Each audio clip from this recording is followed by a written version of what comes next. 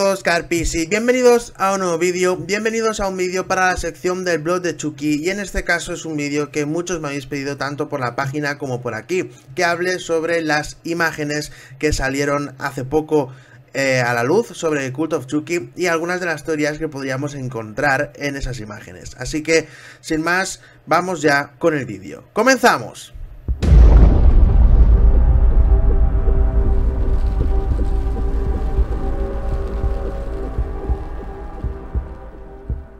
Antes de comenzar con el vídeo os recuerdo que podéis darle like y seguir a la página del blog de Chucky, una página que creé en 2012 y que os trae siempre las últimas noticias sobre Chucky, así que si queréis estar informados, seguid a la página en Facebook. Voy a comentar las fotos de forma salteada, así que las iréis viendo por aquí abajo conforme hable de ellas. La primera de la que voy a hablar, y si veis que no miro la pantalla es porque estoy mirando el ordenador porque es donde tengo las imágenes, es la de Madeleine, este dibujo en concreto que como podéis ver, el dibujo pertenece al primer plano que se le hace a Chucky en La maldición de Chucky, en la escena en la que Nika está preparando la cena y está cortando tomates.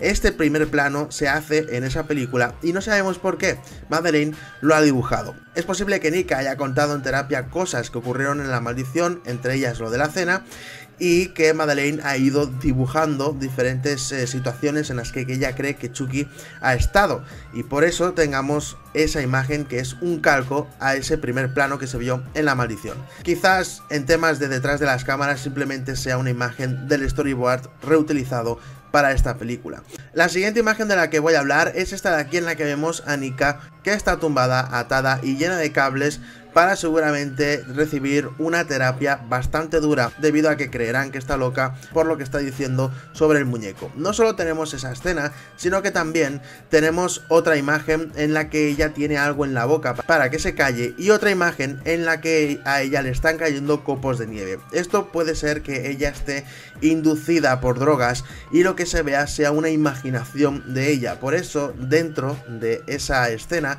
le están cayendo copos de nieve como si estuviese fuera de la institución mental, pero realmente son imaginaciones suyas. Ya se dijo que esta película iba a jugar mucho con la mente de los personajes y del espectador, así que es posible que esa nieve que le cae sea simplemente imaginaciones debido a la droga que le hayan dado o el medicamento que le hayan dado. También por primera vez podemos ver a Zack Santiago interpretando a Carlos. Como dije en una de las teorías, creo que va a ser el recepcionista de ese hospital psiquiátrico. Y aquí tenemos por primera vez una imagen de él. También aparece Zack en dos escenas en las que está intentando agarrar a este personaje de aquí, que sabéis que es el personaje que pierde la cabeza en el tráiler. Al parecer ella ya sabe que el muñeco está vivo y está como intentando huir de él. Si veis en esta imagen parece como que le quiere pegar una patada. Después tenemos una imagen en la que además se ve el micro encima. Podemos ver cómo el doctor está cogiendo a Chucky y Carlos sigue cogiendo a la chica para separarla de él. Después tenemos dos imágenes más sobre la escena del aire comprimido de Chucky. En una de ellas se ve a Chucky mirando hacia arriba como si estuviese viendo algo que va a utilizar para poder asesinar a la persona que está atada en esa camilla. Seguramente esta escena ocurra justo después de la que hemos visto en la que Carlos cogía a este personaje y el doctor cogía el muñeco.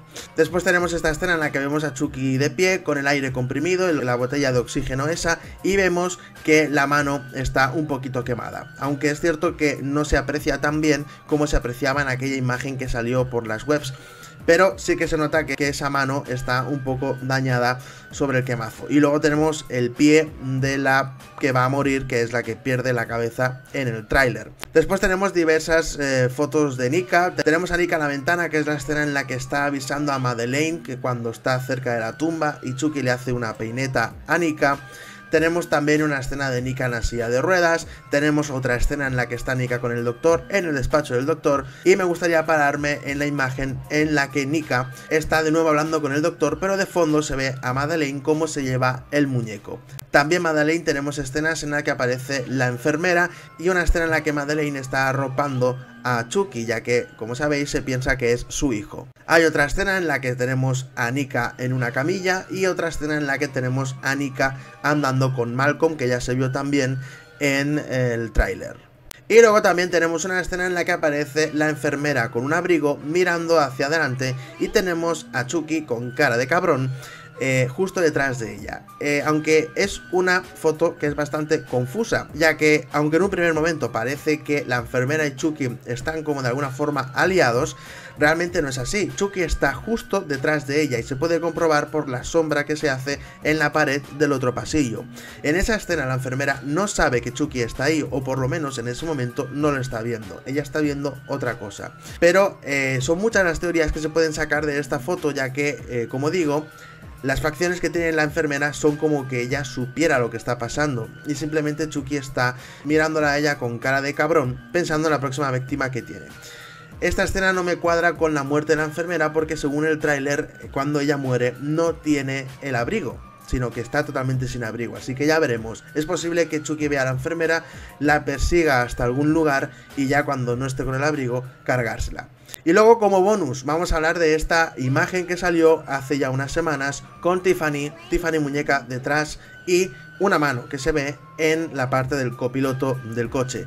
Y es que yo creo que la persona que hay al lado de Tiffany es Nika, ya que si recordamos una foto detrás de las cámaras se veía a Nika con un abrigo parecido a ese, aunque es cierto que usan esos abrigos antes del rodaje y que durante el rodaje se los quitan, pero es un abrigo muy parecido al que se ve en el coche, en la persona que está dentro del coche. Luego vemos a la Tiffany muñeca detrás, que claramente, si vemos la cara, se puede ver que tiene vida. Pero obviamente Tiffany no está ahí dentro, así que ya se verá quién es la persona que está dentro, aunque en el vídeo de spoilers supongo que lo sabréis, en caso de que los spoilers sean todos reales.